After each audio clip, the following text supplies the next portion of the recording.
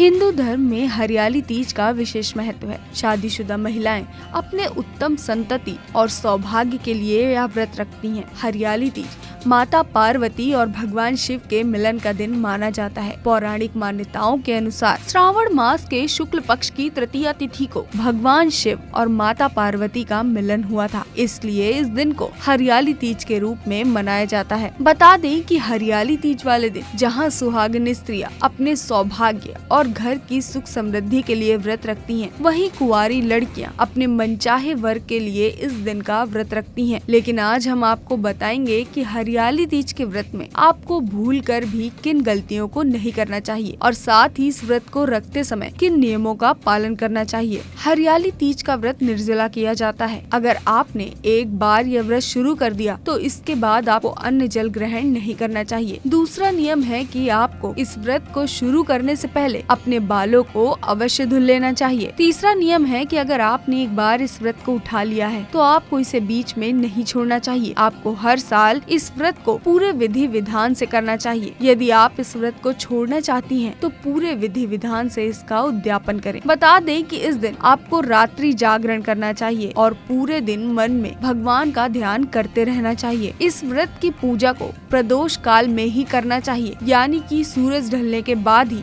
शिव भगवान और माता पार्वती की पूजा करनी चाहिए। छठा नियम है कि इस दिन बालू या फिर काली मिट्टी से शिव पार्वती और गणेश जी की प्रतिमा अपने हाथों से बनाकर ही उनकी पूजा करनी चाहिए। इस पूजा में भगवान की मूर्ति या उनकी तस्वीर की पूजा नहीं करनी चाहिए। सुहाग के पिटारे में सुहाग की सारी वस्तुएँ रख कर माता पार्वती को अर्पित करनी चाहिए। फ़िलहाल इस वीडियो में इतना ही। इसी तरह की अन्य जानकारियों के लिए जुड़े रहिए हमारे साथ।